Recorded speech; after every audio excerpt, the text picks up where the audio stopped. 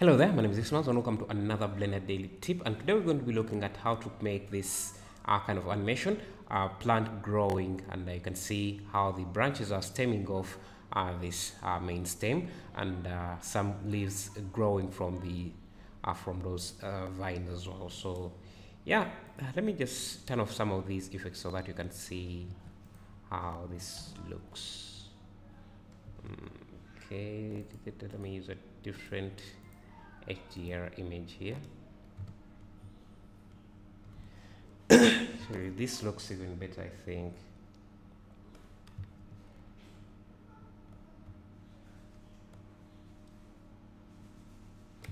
Okay, so uh, let's uh, go in and start animating this. So uh, if you want to watch the entire process of uh, also adding these extra leaves uh, falling down, because the, the, main focus of this tutorial is uh, this vine growing and uh, maybe the leaves as well stemming from that. Uh, but uh, I'm not going to make the entire scene. So if you want to watch the time lapse you can go to my second channel uh, Blender Money and uh, I'll be uploading that there. Don't forget to subscribe to that as well. So yeah let's dive in and get started. So ha I have a new Blender project here and I'm just first going to show you how to make this kind of animation. Let me go to layout here how to make this animation of the vine kind of growing. So to do that let's uh, add a curve uh, because you can do that using only curves. So let's add a, a bezier curve. Uh, this is going to be the shape of our stem. Let me rotate it 90 degrees. And uh, let's also give it some bit of character by adding some control points and uh, just moving them around so that we get a nicer uh, shape something like that. And uh, we're going to need this to have some depth. Uh, so let's go to the curve settings. Add a bevel give it some depth. Uh, so if you have depth now we can control uh, the thickness uh, from top to bottom uh, using a taper object under geometry here. So if a taper object is just another curve object that you use to control the shape of this bevel. So select the curve and then under the geometry select uh, this as your bevel object as your taper object. And you can see if I rotate this 90 degrees uh, this object here is taking up the shape of uh, the bevel of this object is taking up the shape of this uh, taper object. And if I add a few control points and control you can see how I'm controlling uh, the depth the the shape of this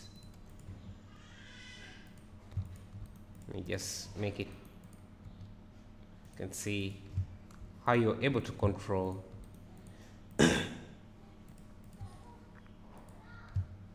How you're able to control uh, the shape using a taper object like that. But we don't want it to be this weird so let me just add a simple taper object so if if this was straight uh, vector let me convert it to a vector. You can see it's almost not controlling the shape. And uh, if but uh, if you move this away from the pivot point see what axis is. Oh we need to select this and uh, make it the taper object. You can see if you move it away from the pivot point sorry the I think it's called the pivot point you're controlling uh, the width or volume of the curve so you can see. And uh, if you add another control point say in the middle there and just move this so that it aligns how the center of the object you can see now we're making this at the top really small and uh, at the bottom here really wide as you can see. Now you can also move this up and down control that thickness. And uh, if you add another control point here subdivide and uh, push this to be at the same to align with this cursor and uh, just make sure that it's at centered at that point I can select this object cursor to select it so, so that the pivot point is at there and then select these two scale them and make sure that uh, your control point your pivot point is set to cursor then select this scale them to the x-axis and you can see now if we rendered if we went to rendered mode and turned off uh, extras you can see that uh, we are not even seeing that line we're just seeing that shape. So and uh, if we animate uh, this position you can in the z-axis you can see how I'm animating this. But uh, it kind of stops at this point here. Actually it can go as far but uh, you lose uh, that kind of shape that we have there. But uh, if you select these two points and start moving them you see how you can easily animate the uh, the curve. So we just need to, to have a way to control uh, this outside edit mode because you can add keyframes in edit mode and uh, the six so uh, to control these two points you can just use control H to add a hook new hook and then we, if we move this we are moving those points as well.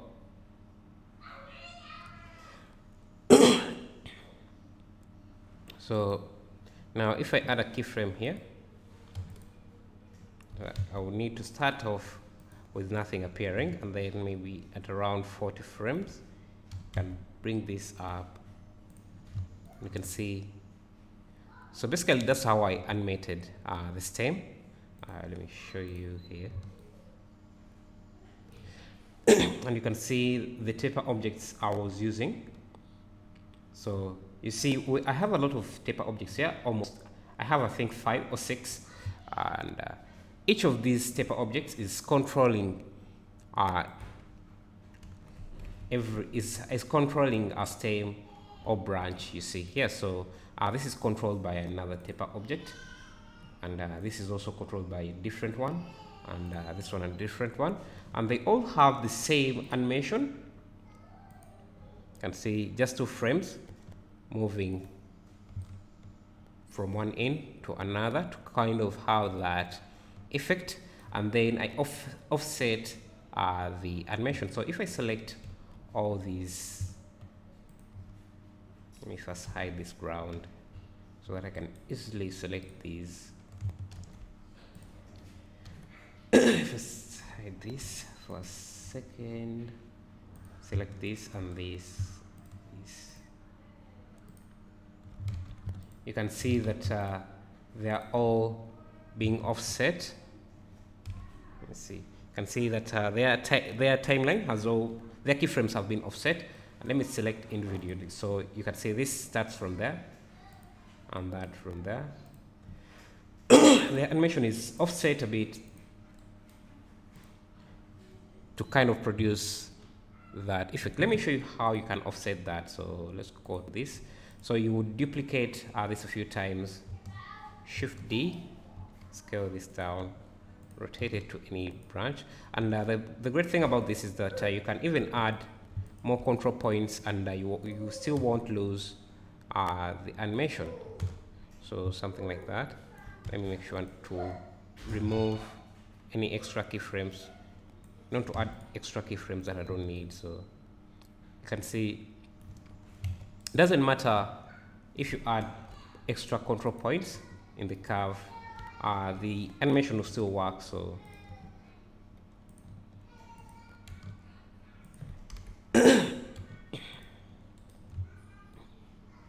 Yeah so we don't want this branch to be too too long like that so we can have it be short and uh, make a duplicate this rotate it around. Maybe this time do something like that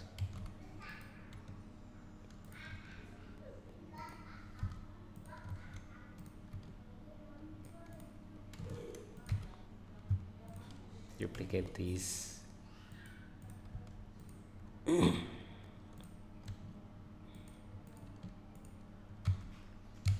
can see.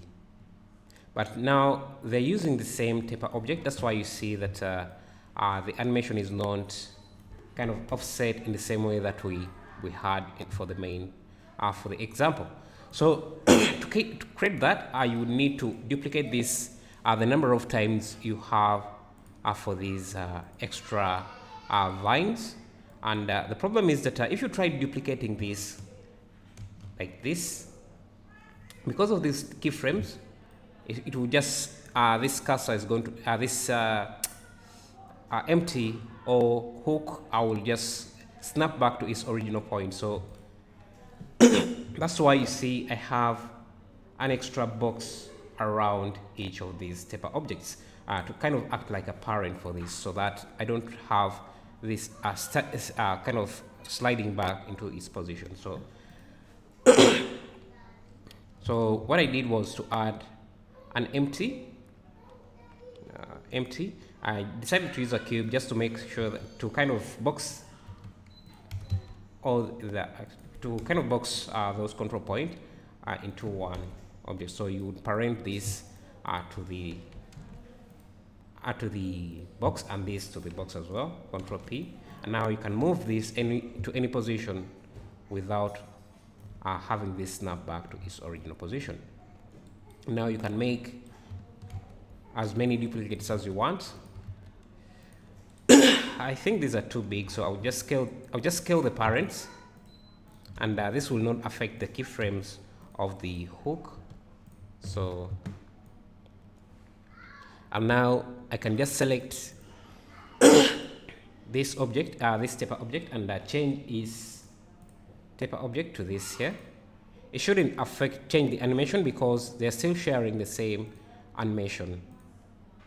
Or keyframes so select this. Uh, select this uh, give it a different type of object. Uh, select this. Why is this messed up?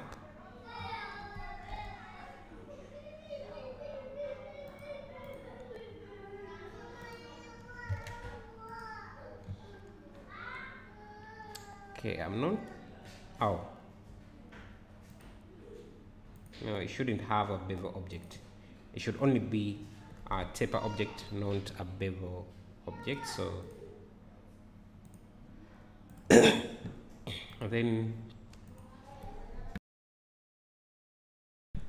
then select this.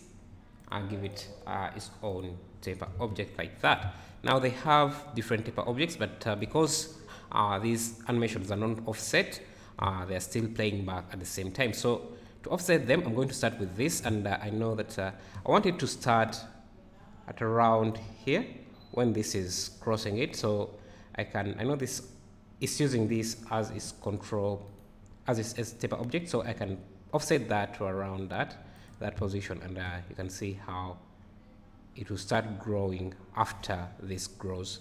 And uh, also extend this. So it's using this. So I would have this start after this grows maybe around there and basically do the same for for all the uh, for the rest. Uh, so this here uh, is using this taper object. So I can so at around here that's where you want this animation to start. Let me just remove this. You can do that if you want in your time. So yeah and then for the flower for the leaves uh, just make a simple leaf. I'll just add a plane rotated 90 degrees uh, subdivide it apply the subdivisions. You don't really have to but uh, then maybe just make a simple flower here. Simple leaf push the pivot point. And now you can start you can start by animating the the leaf. So give it a simple animation so kind of give it a bouncing animation so it starts at a scale of zero. So scale by zero. And then kind of grows at around here. I want it to exceed uh, its growth so that it will give it that kind of bouncing effect. Maybe just expand this a bit. Uh, so to make your animation look a bit more smooth you can change the frame rate to about 60 frames so that it looks even smoother. So something like that. And now you can start positioning uh, your uh, your, your flower. So the problem is that uh, we have these keyframes and uh, they also set the position. So if I start moving this and I play back, you see it snap, it will snap back to its original position. Uh, so what you can do is just Control T, Control Tab, uh, and uh, change to the uh, to the curves editor and delete all the rotation, location, and just have the scale keyframes. So I'll select all these and uh, delete those uh, so that I only have uh, the scale. Now, if I move this object, you can see it will just stick there, but uh, retain is a scale animation. So then you would position that, duplicate, rotate. You can make your leaves better and also make sure that uh, you go in all direction and make sure that uh, uh, this kind of is sticking to the plant. I'm not going to be too careful with this. So, uh, and then after you can offset uh, the position in the same way because we offset uh, the the position of the vine. So you know I want this to start from there. So I will offset this to start from there, and then this for this leaf also offset it so that it starts uh, from around there. You can see now. Uh, then you would add more leaves like that uh, to get the animation then add materials and everything. So if you want to watch the entire process I will have the I'll have the animation uh, the time lapse uh, uploaded to my second channel Blender Money and now you can watch the entire process from there. I don't want to have this too long uh, but uh, this is the final results we got added some particle system and uh, some volumetrics and some uh, and uh, a ground to have that stand on. So thank you for watching. Uh, if you want the project files, you can become a Patreon and uh, I'll send them for you to you. So thank you for watching.